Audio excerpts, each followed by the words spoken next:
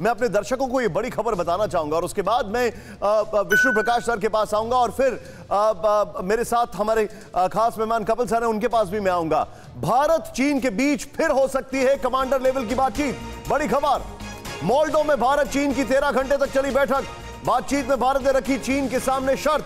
पैंगोंग देपसांग समेत तनातनी वाली जगह से पीछे हटे चीन। ये इस वक्त की बड़ी खबर हम आपको बता रहे हैं और ये इस वक्त की top news of this hour है। किस तरीके से ये मामला चल रहा है? क्विक रिएक्शन यहाँ पर। मैं सुमित से लूँगा। सुमित कल रात में आपने 9 बजे खबर को ब्रेक किया था लेकिन ये तो अभी नहीं कह सकते कि बातचीत फेल हो गई। इट्स इन द प्रोसेस क्या कहेंगे आप देखिए अभी तक प्रोसेस है लेकिन निशांत एक और बात की पहली बात जब बातचीत हुई यानी कल 12 से 14 घंटे के बीच बातचीत हुई तो तीन मेजर पॉइंट्स थे जिसमें डेपसांग आपका हॉट स्प्रिंग और तीसरा था फिंगर फोर जहाँ से फिर भारत ने कहा कि आप इनसे डिसंगेज होइए पूरी तरीके से जिसको चीन ने पूरी तरीके से खारिज कर दिया।